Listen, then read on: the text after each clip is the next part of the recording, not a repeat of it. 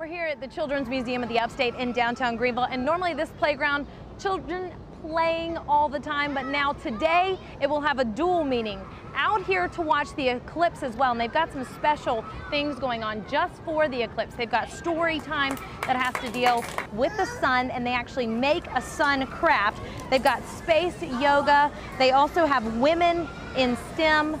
Uh, you can make pinhole projectors and you can also do Alka-Seltzer stomp rockets. So several things happening here at the museum just with your admission ticket. But the solar eclipse, of course, takes center stage. The Ho family traveled all the way from New York just to see the eclipse here in Greenville. I didn't expect it to be that dark.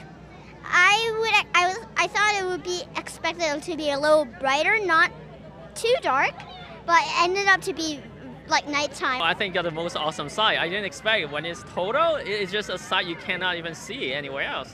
I don't think I live to see another one here, so. Maybe. Allyson Powell, WYFF News 4.